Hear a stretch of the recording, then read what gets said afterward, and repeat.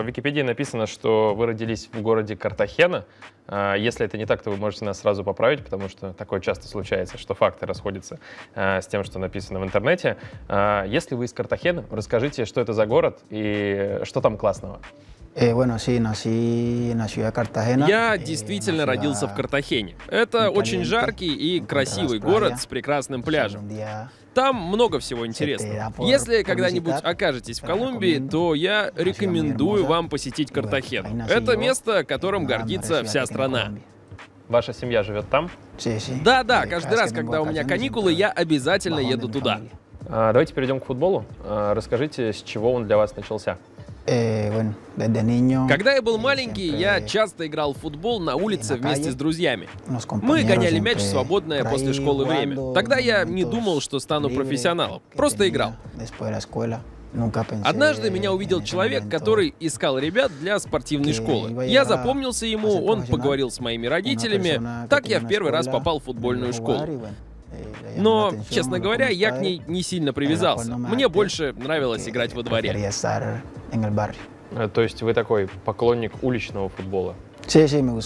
Да, мне всегда больше нравилось играть во дворе со своими друзьями, чем ходить в футбольную секцию. Футбол во дворе это жестко в Колумбии или ставка делается на финты, элегантность и удары от, от стенок коробки? Во дворе могло быть всякое, как и в школе между уроками. Была и агрессия. Иногда ты дрался с другими ребятами, иногда тебе не давали играть более старшие. Я вырос, впитав все это. Улица во многом помогла мне начать ценить то, что важно для меня сейчас. Оглядываясь назад, я понимаю, как много стоит то, чего я добился. Э, я задал предыдущий вопрос, потому что подумал, что, может быть, ваша своеобразная жестокость на футбольном поле, потому что вы играете довольно грубо, э, она берет свое начало из детства. Это так или я это придумал? Да, я немного агрессивен, когда это нужно на поле, но я спокоен на тренировке или в любой другой игровой ситуации. Бывают моменты, когда нужно быть спокойнее, а в другие жестче. Зависит от конкретного момента в игре. Последний вопрос про детство. Вы сказали, что не думали о том, что можете стать футболистом, э, а кем мечтали стать? У меня не было какой-то определенной цели. Я болтался на улице с друзьями, и когда не играл в футбол, мог делать всякие разные вещи. Но тогда не представлял, кем стану. Думаю, что у Бога есть планы на каждого человека, и мне Он определил такой путь — прийти туда, куда я в итоге пришел. Я стараюсь по максимуму использовать все и наслаждаться жизнью. После той детской спортивной школы, в которую вы сначала не хотели идти, но в итоге пошли, что было дальше? No, no. Hubo un momento en que... Сначала я ходил на тренировки, но потом мне стало скучно, и я не хотел туда возвращаться. Поэтому продолжал существовать между школой и двором. Район у нас был очень опасный, но у меня было счастливое детство. Было много веселого каждый день. А, но потом вы как-то оказались в клубе Депорта Сталима. Eh, bueno, después с возрастом мне стало больше нравиться ходить в футбольную секцию. Мой папа всегда мечтал стать футболистом, но так и не смог это осуществить. Он устроил меня в одну из лучших школ в Картахене, чтобы тем самым чуть-чуть отдалить меня от района и от тех опасностей, которые в нем были. Я стал более прилежно работать в секции, и тогда все и завертелось. С э, Депорта Сталима вы стали обладателем Кубка Колумбии. А, мы примерно представляем, что такое Кубок Либертадорес, а, насколько Кубок Колумбии близок э, по атмосфере, по энергетике, по э, количеству болельщиков на трибунах к Либертадорес. Decir la Copa Rusia. Кубок Колумбии, как и Кубок России, играется параллельно с чемпионатом. Выглядит это немного не так, как футбол в Аргентине. Масштабы другие. За Депорте Столима я играл 6 лет, а потом перешел в Бока Хуниорс и провел там два с половиной года. Сейчас вы ярко выраженный центральный полузащитник, опорник, может быть, но это не та позиция, к которой стремятся дети, когда приходят в футбольную школу или тем более приходят играть во двор. А в какой момент в этом оказались? Э, когда я только начинал, мне нравилось играть на фланге. У меня не было определенной позиции на поле, но играя э, повыше, я чувствовал себя лучше. В Депортес меня поставили в центр, и я начал чуть больше выделяться. В первую команду я попал уже в качестве центрального полузащитника. И сейчас на этой позиции стараюсь выкладываться по максимуму каждый раз, когда выхожу на поле.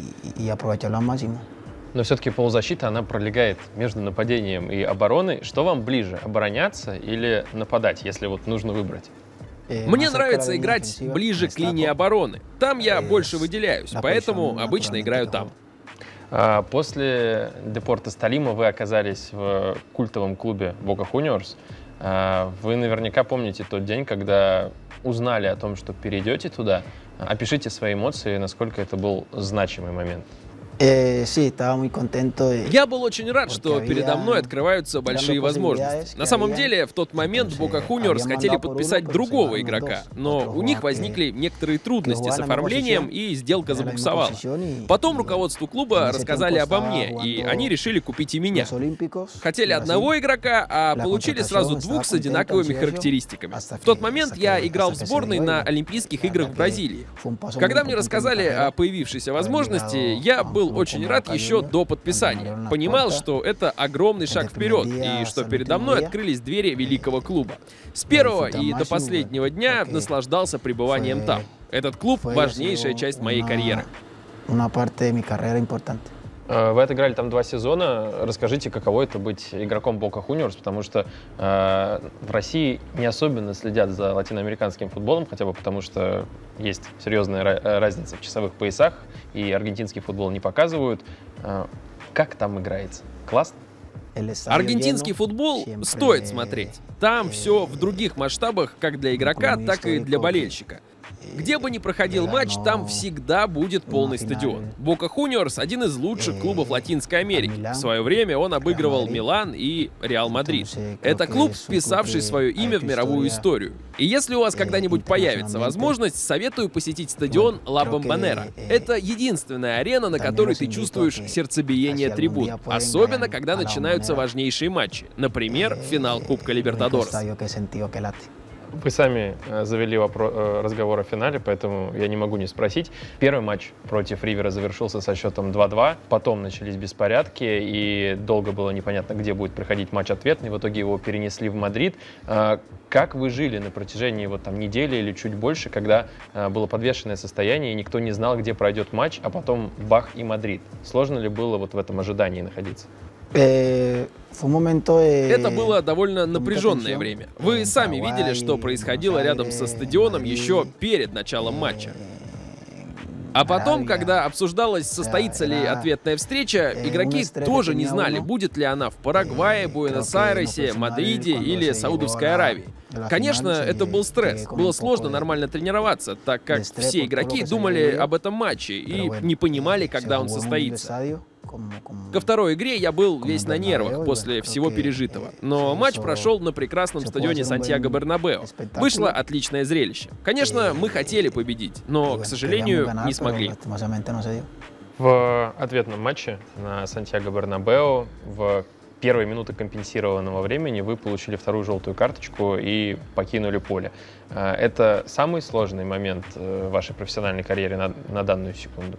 Sí, eh, да, это был самый драматичный момент в моей карьере. Я даже не мечтал никогда сыграть в таком финале. И вот я получаю красную карточку. Кстати, это было мое первое удаление за все время в Бока Хуниорс. К сожалению, вышло именно так. Но это был один из тех уроков, которые преподает тебе футбол. Они позволяют научиться чему-то новому. А что было, то было. Хорошо, давайте поговорим о сборной. Э, для начала об Олимпийских играх 2016 года. Насколько это особенный в плане футбола турнир? Eh, На тот момент это было самое важное соревнование в моей карьере. Для меня это была мечта. Колумбия, кажется, 16 лет к тому моменту не могла отобраться на футбольный олимпийский турнир. И это, наконец, свершилось, когда у меня появилась возможность принять участие в Олимпиаде. Я насладился играми, хотя у нас не все получилось. Думаю, тот турнир отчасти повлиял на то, что я оказался в Боке, потому что я довольно неплохо себя проявил четвертьфинал Олимпийских игр, и у вас есть еще один, э, до которого вы дошли минувшим летом, э, Кубок мира. Э, расскажите, каким он остался в вашей памяти? Eh, Когда я вспоминаю о нем, мне все еще кажется, что это было вчера. Это один из самых лучших моментов в карьере любого игрока. Я наслаждался в России каждой секундой, каждой тренировкой, каждым обедом, каждым отдыхом.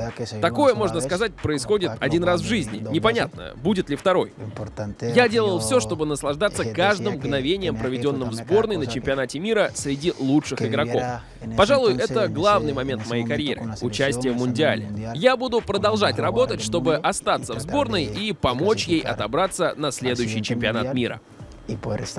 Если говорить э, не о футбольной стороне вопроса, понятно, что футболисты, когда приезжают в другую страну или другой город, видят э, все окружающее только через окно автобуса, но все же, может быть, было что-то, э, что вас поразило или удивило в России, в русских, о чем вы, приехав домой, рассказывали своей семье? Во-первых, у вас огромная страна, очень большая. Во-вторых, в каждом городе, в котором я побывал, все было прекрасно организовано. Все очень красиво. Eh, в других странах я такого порядка не видел. Когда едешь по дороге, каждая мелочь просчитана. И еще все люди, которые встретились мне в России, были очень приветливы, за что я им благодарен. Переходя к «Зениту», вы не рассказывали еще подробно как вам поступило предложение? То есть как вы узнали о том, что вам, вами интересуется «Зенит»? Как вы отреагировали на это? Eh, bueno, eh, все произошло очень быстро. Я ни секунды не сомневался, когда появилось предложение от клуба. Я говорил с президентом Боки и сказал ему, что если поступит предложение от «Зенита», чтобы он посмотрел его, оценил и хорошо подумал. Я знал, что это, во-первых, большой шаг вперед в моей карьере, подходящий момент для переезда в Европу. А во-вторых, что «Зенит» — лучшая команда России, что я могу хорошо там поработать, завоевать любовь болельщиков. Кстати, есть забавная история о том, как я узнал, что переход состоялся. Шли переговоры. В тот день все должно было решиться, потому что в Америке закрывалось трансферное окно. Команда играла в другом городе. Мы готовились к выезду, но я не знал, еду я или нет. И тут, когда я сажусь в автобус, узнаю, что все решилось. Ребята говорят, что я могу в ту же ночь отправиться в путь. Я сначала не поверил. Не знал, как шли дела в течение дня. Удивился, переспросил, точно ли все так. Мне сказали, что да, все готово. И тогда я действительно сошел с автобуса, попрощался с ребятами, проводил их и отправился собирать чемодан перед рейсом. А вопрос, э, который задают всем иностранцам, э, не пугают ли вас холода? Я уже начинаю привыкать. Знаю, что будет еще холоднее, но, надеюсь, не сильно. Это вопрос привычки. Нужно уметь приспосабливаться к условиям. Если хочу добиться успеха, то я должен привыкнуть к холоду. Таковы требования. Думаю, надо во всем искать плюсы и работать дальше. А прямо сейчас у вас есть возможность обратиться ко всем болельщикам «Зенита». Они вот, вот здесь прям а, можете сказать что-то, если есть что сказать. Меня зовут Вильмар Бариус. Я новый игрок «Зенита», приехавший сюда с большими надеждами, грандиозными планами и желанием отдать все самое лучшее для команды, чтобы помочь ей достичь поставленных на сезон целей. Буду выкладываться по максимуму за клубные цвета, за стрелку, за товарищей, за всех, кто работает на команду. Всем большой привет и наилучшие пожелания. Всех обнимаю.